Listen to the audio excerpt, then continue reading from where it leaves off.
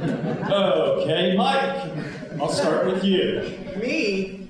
Don't you want to start at the end? No, I'll start with you and relax. I could if you started at the end. what do you want to know? What do you want to tell me? I'd like to tell you to start at the end. I can't think of anything. Yes, you can. Why did you start dancing? Oh, because my sister did.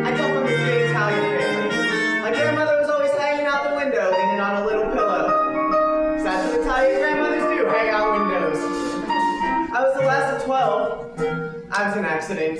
That's what my sister told me. That's the sister, Rosalie.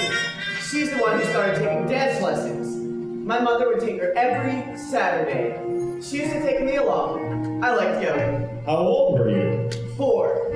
And I'd sit there all perky and I'm watching sis go pitter pat.